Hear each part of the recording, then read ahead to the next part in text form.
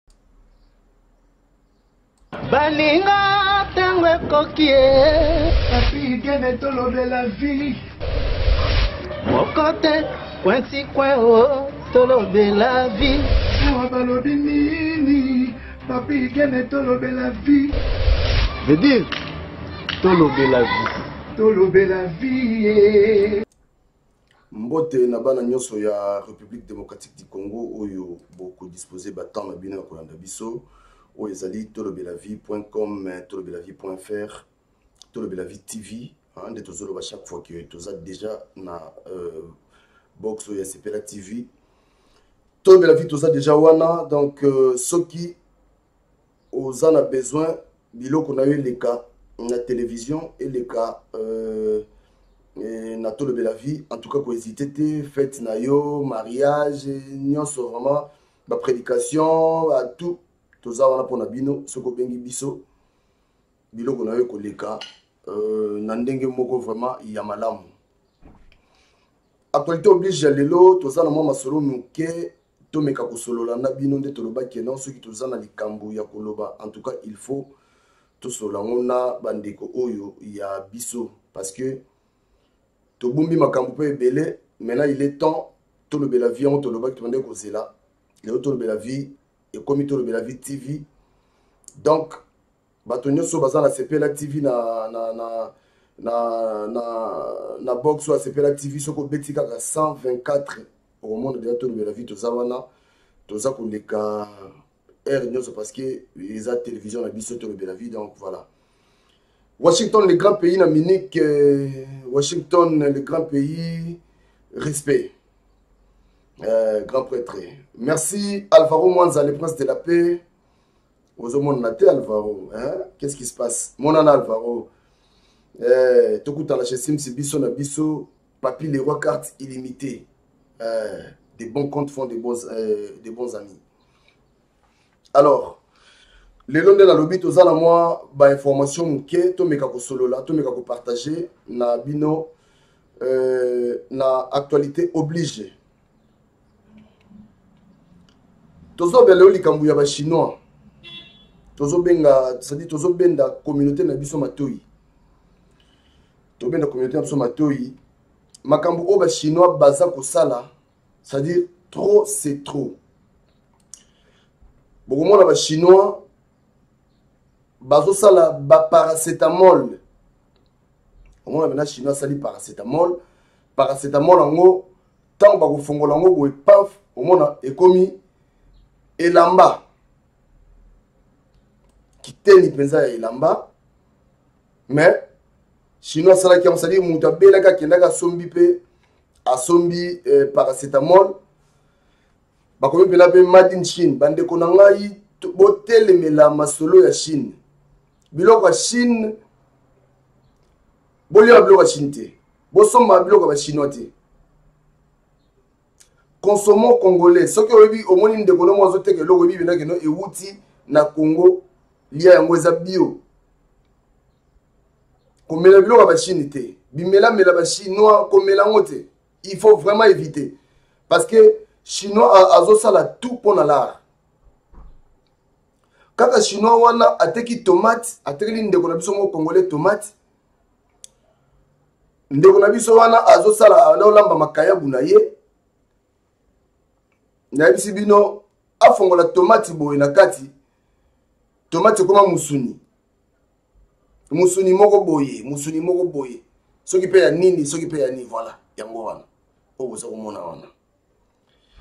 donc euh, eza mpasi mingi soki tant tozoloba boye tozoloba makambo oyo on a vu qu'une seule fois bato bakufa bazonga lisu te so ta mosusu bayebaka ta mosusu balingi bakufa te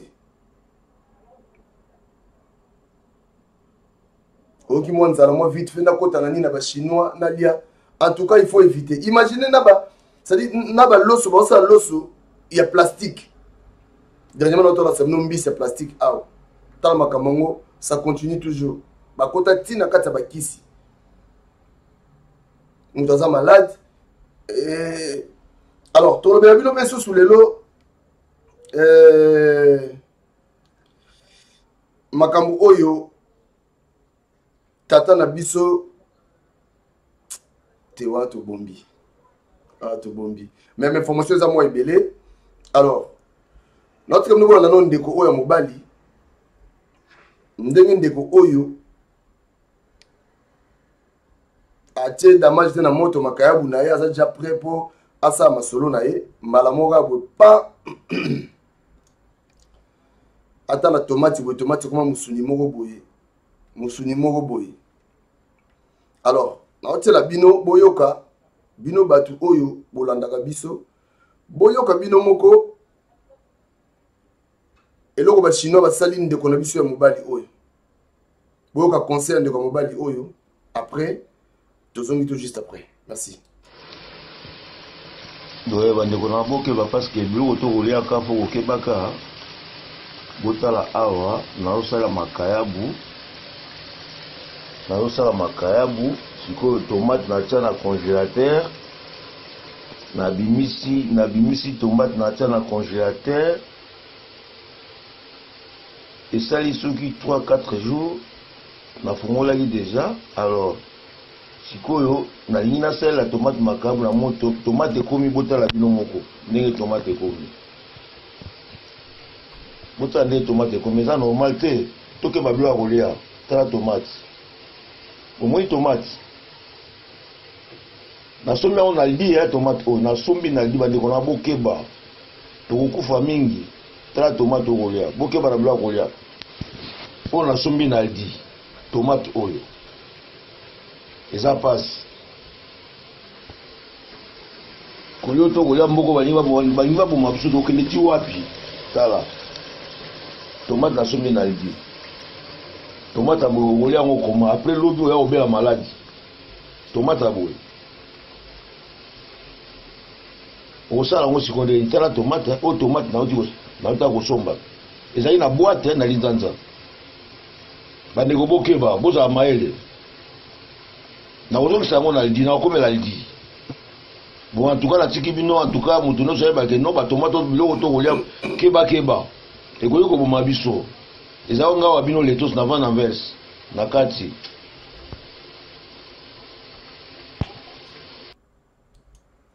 soki osombi eloko ya boye kozala kozala mbangu te ya kofongola yango kobwaka na kati ya nzungu ntango na olamba mpe viande euh, après okoconfondre viande na yo na oyo wana sadi esangani nango mpe olie après yango ozomona bacancer bato bazobela bacancer maladi moso soki c'est-à-dire ezokausa na nzoto donc c'est-à-dire mai kutu mai na mai eza esu te na kati ya nzoto bachinois ndeko oyo alobi je crois boyoki alobi na lingala ekomeli ndeko na biso naotia bino botala lisusu ndeko oyo ye je crois alobi na, euh, na swahili je crois euh, bachinois toujours ndeko azalaki malade ake somba paracetamol botala paracetamol yango nayebi mpe te epuis vraiment oke nayebi te oke somba eloko mpa bachinois ndenge nini kisi mpo mela me bazali mpe baza na bango ata toloba boye baza na bango ebele akei na ye bina mpe pa chinois paf asombi na paracetamol na ye e, nini tank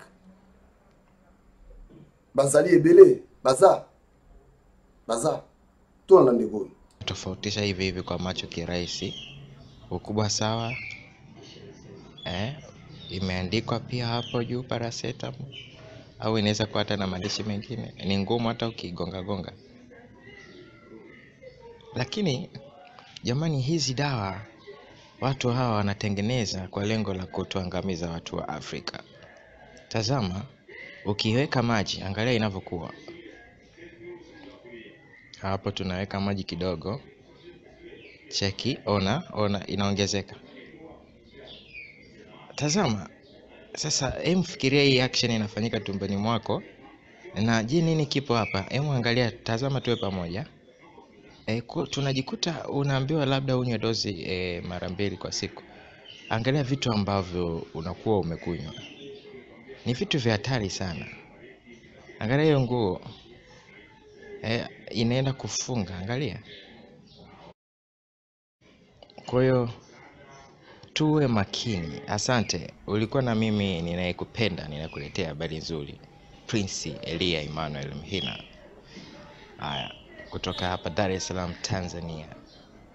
Unaweza ukanipata Facebook kama mtu wa watu, Instagram Prince Elia Mhina na kwingineko. Asante.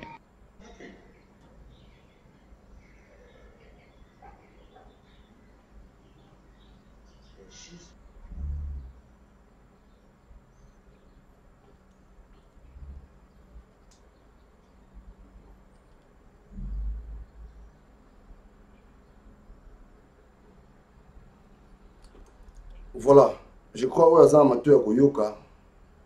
ayoki oyo aza na mato ya koyoka ayoki c'est-à-dire euh, tolobela vie tv toyeli bino information oyo tolakisi bino boyeba que toza vraiment na problème très sérieux toza vraiment na problème oyo eza vraiment sérieux problème nini toza na makambo oyo bomoni na miso na bino moko bandeko na nga boevite biloko ya bachinois boevite vraiment boevite biloko imagine paracetamol ekomi nango c'est-à-dire ekomi nango kitendi ya elamba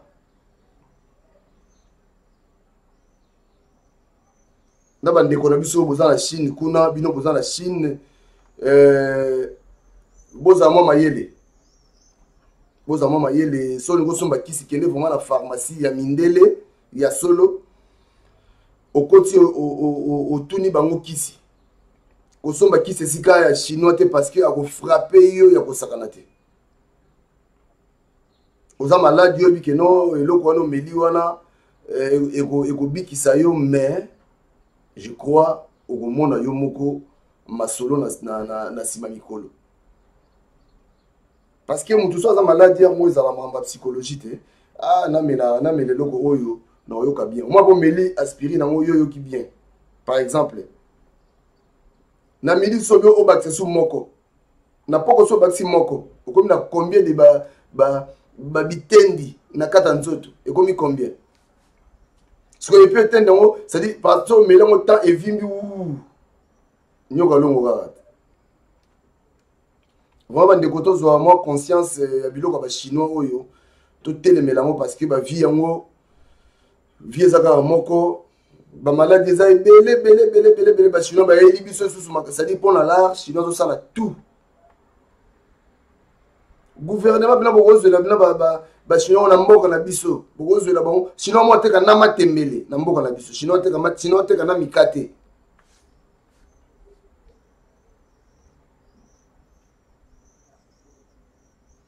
obutu abaki tokolela ye ok tokomi na suka mpo na lelo je crois bolandi biso na bokebi nyonso bolandi biso oyo aza na mato ya koyoka ndenge tolobaka ayoka soki oyoki te yebaki mokolo mosusu panza euh, émission oyo vraiment partage émission oyo bato batala bato bayoka bato bamona bamona parce que biloko oyo esalami moko wana je crois boyoki alobi na lingala vraiment partager cette émission mpo makambo eza mwa ebele bato ofuti osukisa bango